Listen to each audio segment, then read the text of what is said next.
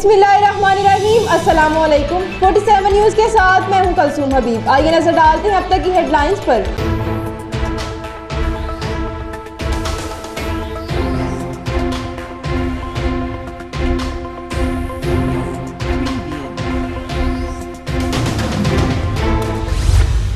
بھارتی دہشت گرد کا تیسری مرتبہ اپنے مکروہ جرائم کا اعتراف۔ کلبھوشن کا ویڈیو بیان اہل خانہ سے ملاقات کرانے پر پاکستان کا شکریہ ادا کیا۔ خاندان سے ملاقات کرانے کے لیے پاکستان سے درخواست کی تھی کلبھوشن۔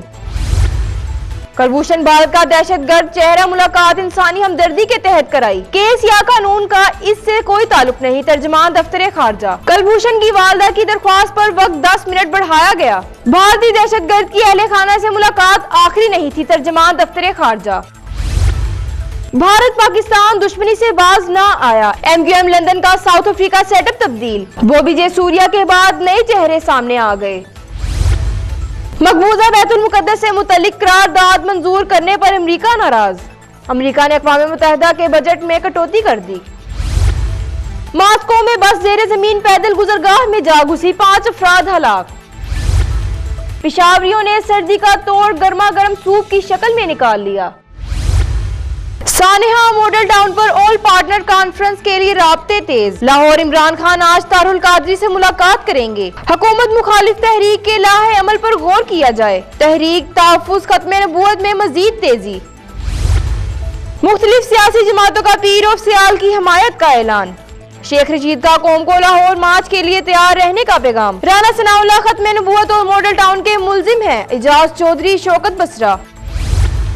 کراچی اساتذہ کا مطالبات کی منظوری کی یقین دہانی کے باوجود دھرنا جاری۔ کمشنر نے آج نوٹیفیکیشن جاری ہونے کی یقین دہانی کرائی۔ وزیر اعلیٰ سندھ سے ملاقات کے بعد احتجاج ختم کریں گے اساتذہ۔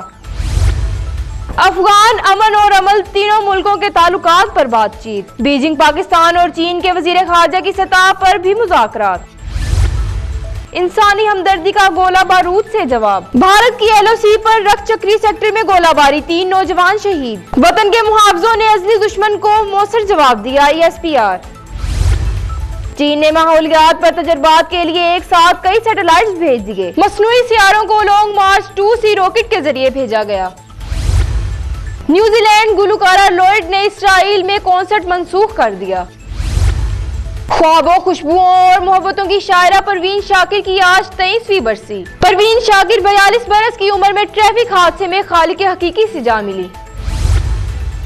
Hollywood film Den of Thieves کی نئی جھلکیاں جاری۔ فلم اٹھارہ جنوری کو سینیما گھروں میں دھوم مچائے گی۔